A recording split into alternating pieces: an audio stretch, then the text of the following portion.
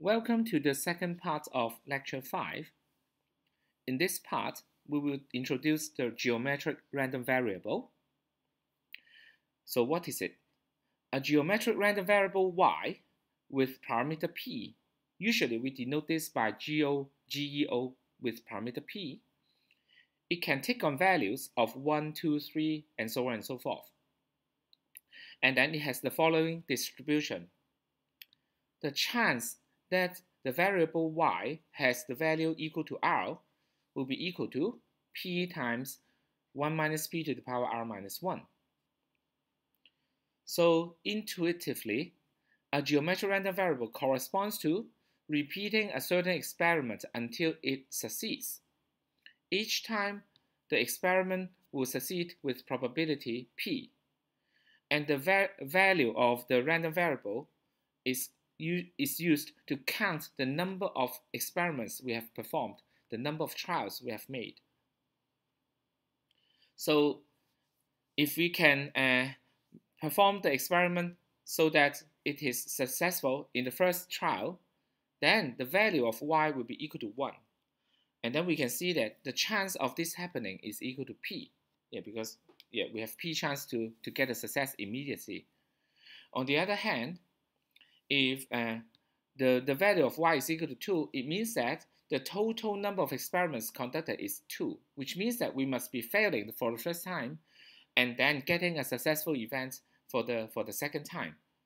So the chance of failing for the first time is 1 minus p, and then the chance of uh, successful in the, in the second trial is equal to p. So the chance that we have y is equal to 2 will be exactly 1 minus p multiplied by p.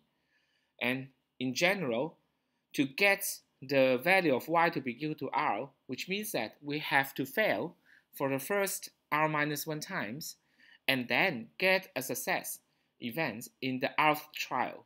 So the chance of this happening is 1 minus p to the power r minus 1 multiplied by p. For geometric random variable, there is a very interesting property called memoryless property. So here it is, uh, what it is about. So suppose that we are doing this experiment for GOP, and then suppose that we have now already failed k times. Very, very sad. We are failing it k times. And then we now ask at this moment, what is the chance that we still need exactly n more trials to get the first success. So we have already failed k times, okay? But then at this moment, we ask this question, what is the chance that we still need exactly n trials? Now the chance of needing exactly n trials, it means that we are going to fail for the first n minus 1 trial starting from now, and then get a successful event on the nth trial starting from now. So the chance of this happening is exactly 1 minus p to the power n minus 1 for failing the first n, n minus 1 times, multiplied by p for getting the successful event in the nth trial. Now noticing that this is a term that depends on n only, it does not depend on k. So that means what?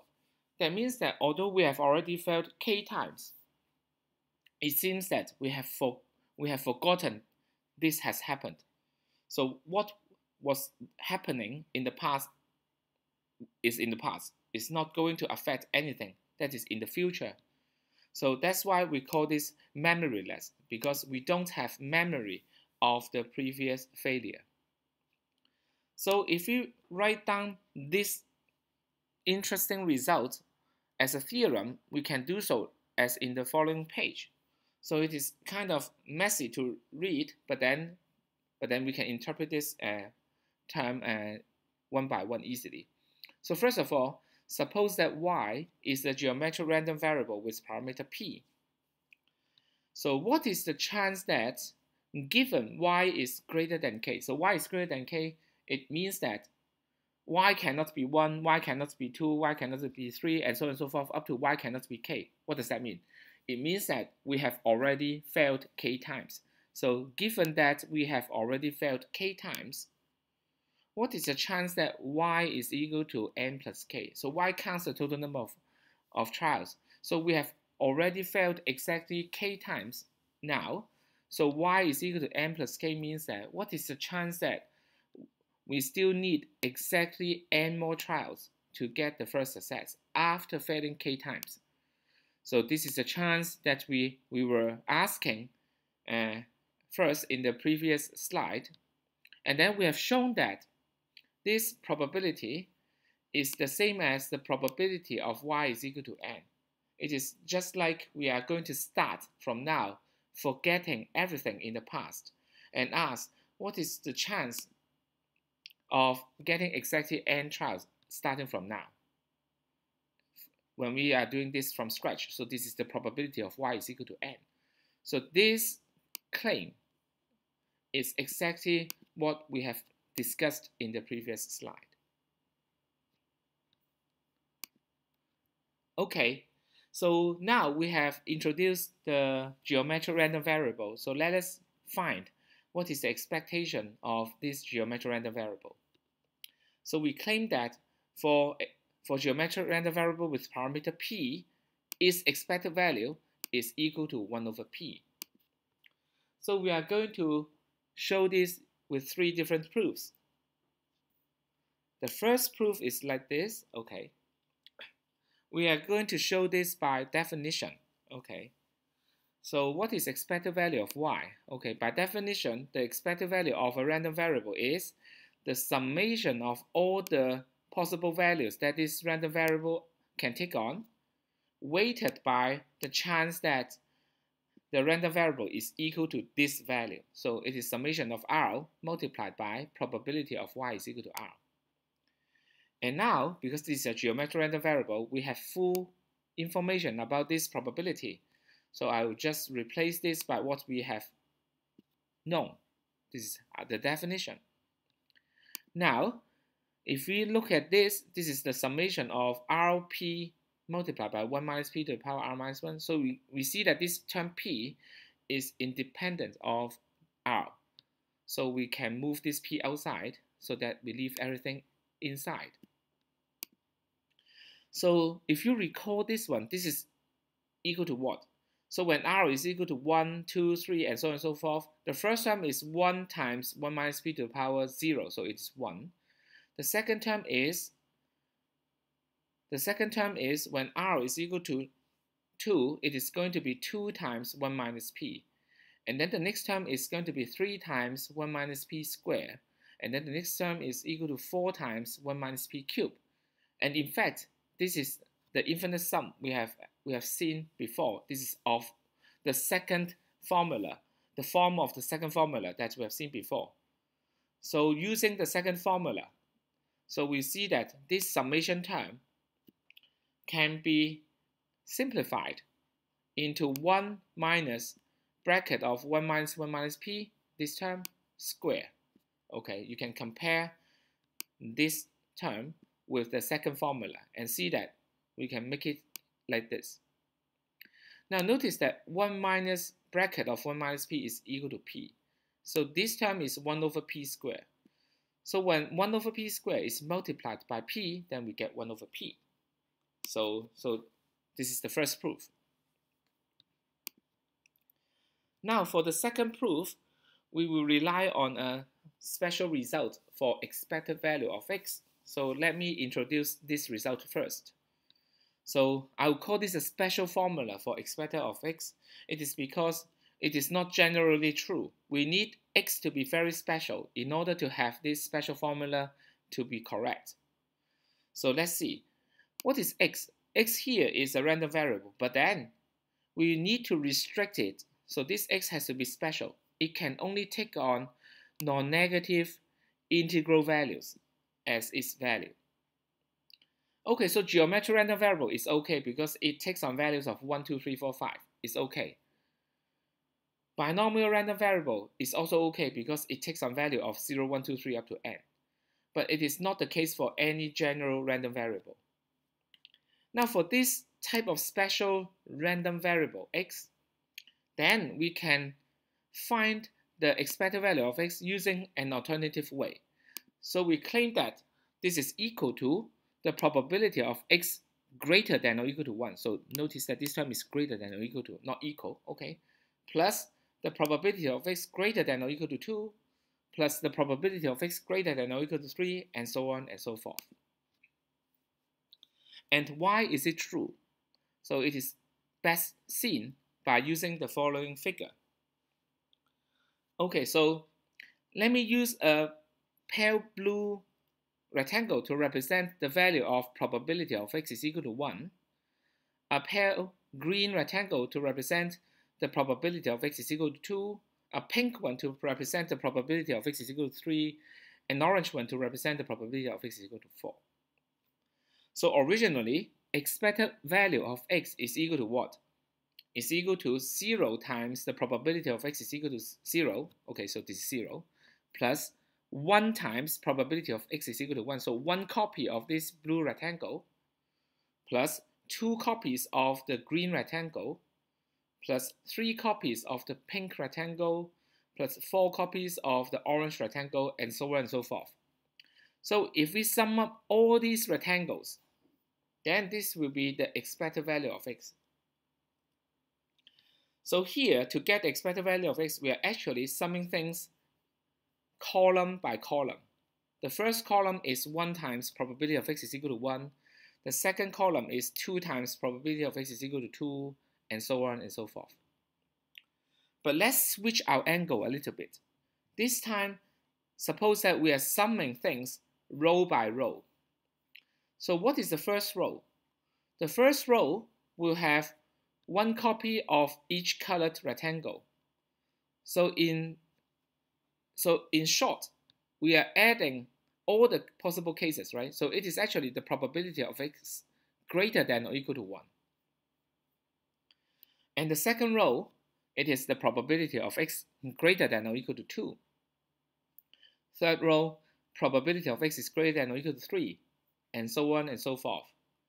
So we see that by summing the, the, the rectangles row by row, we will get the formula on the right hand side. So in that case, we get the proof for this special formula. Okay, now once the special formula is known, then we can get an alternative proof for the expectation of geometric random variable. So expected of y is equal to the probability of y greater than or equal to 1 plus probability of y greater than or equal to 2 plus probability of y greater than or equal to 3, and so on and so forth. Now the first probability, y greater than or equal to 1, it is simply 1. It is because any geometric random variable value will be greater than or equal to 1, so it is 1. Now how about this one? Probability of y greater than or equal to 2. So in order to get y greater than or equal to 2, what we need is we must fail for the first time. If we fail for the first time, then no matter what happens after that, then it is going to have total number of trials bigger than or equal to 2. So the chance for the second probability is 1 minus p. And similarly, in order to get y greater than or equal to 3, we must have the first two trials to fail. And then this chance is 1 minus p squared. So in that sense, expected value of y is equal to 1 plus 1 minus p plus 1 minus p squared plus 1 minus p cubed and so on and so forth. So using our infinite sum formula, the first formula, we get this is equal to 1 divided by 1 minus the bracket of 1 minus p. So after simplification, it is 1 over p. So we get another proof. Okay, Finally, let's have the third proof. This time our proof is by conditional expectation formula. So how do you how, how do we how do we how do we do this? Okay. So expected value of y can be expressed as so we we look at what? So whenever we use the conditional expectation formula, we need to somehow think of a certain partition of the sample space. So we are partitioning the sample space based on what happens in the first trial. So the first trial can be successful or the first trial can be failing.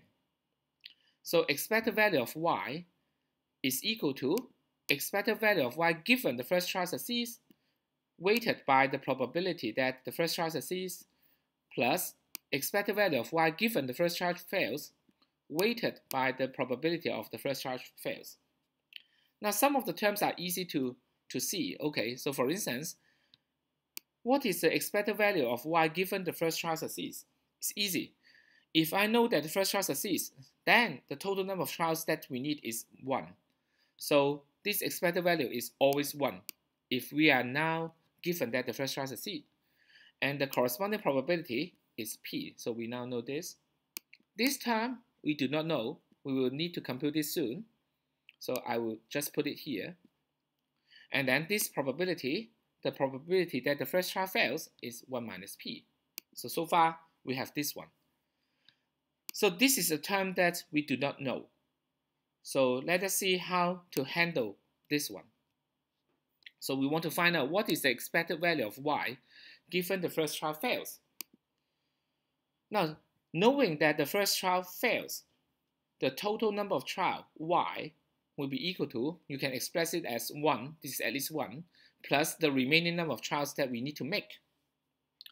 But on the other hand, the remaining number of trials is needed to get the first success, and by the memoryless property, we know that the number of remaining trials itself is also a geometric random variable with parameter p.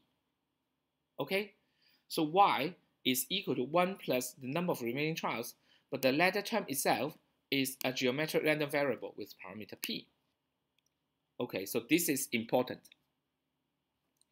And next, let us continue. So to find the expected value of y given the first trial fails, this time we use the linearity of conditional expectation. Express y as 1 plus the number of remaining trials. So we get this one is equal to 1 plus expected of number of remaining trials given that the first trial fails. Now, this is about the first trial. This is about the remaining trial. So they are independent of each other, memoryless property. So, so that's, that's why we can further simplify the equation into 1 plus expected value of the number of remaining trials. So here, this is expected value of a geometric random variable with parameter p.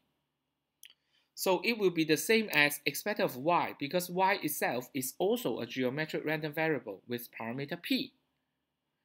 That's very nice. So originally, we know nothing about this expected value. But now we can express this as 1 plus expected of y. So let's see what is the result. Oh, the result will be, so let me copy, this is what we have stopped before.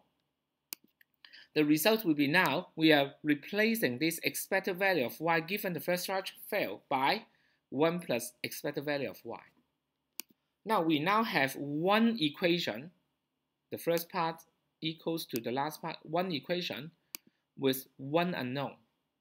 So by solving this, then we will find out that expected value of y is equal to 1 over p. So we now have a third proof for the expectation of geometric random variable with parameter p. So that's all for part 2.